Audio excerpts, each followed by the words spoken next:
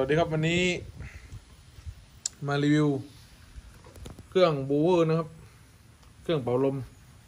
ตัวนี้เป็นตัว M18 นะครับ ของมิวกี้แบบไล่แปลงฐานนะครับ ตัวนี้เป็นเป็นแบบตัวใหญ่นะครับ แบบท่อใหญ่ไอลักษณะท่อลมคล้ายเหมือนเครื่องเจ็ตนะครับ นี่นะครับ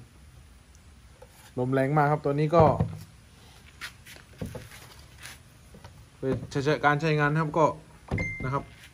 เสียบตรงนี้เข้าไปเลยนะครับ มันจะมีเงี้ยงของมันอยู่นะครับ อยู่ข้างหลังนี่นะครับ มีเงี้ยงอยู่ ใส่เข้าไปก็ล็อกนะครับเวลาจะถอดก็กดตรงนี้เข้าไปนะครับ ก็ดึงออก มีความแน่นอยู่พอสมควรนะครับ นี่ครับ แล้วก็สวิตช์ตรงนี้นะครับ ปรับโหมด ปรับความแรงได้ ก็สเปดแล้วก็นี่ครับปรับก็ปุ๊บเป็นโหมดเตา นี่ก็โหมดกระต่ายก็กระต่ายก็จะแรงหน่อย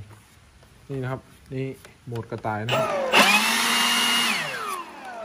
ถ้านี่โหมดเตานะครับ ก็จะเบาหน่อยนะครับ ก็ตอนนี้ตัวนะเครื่องก็มีเท่านี้นะครับ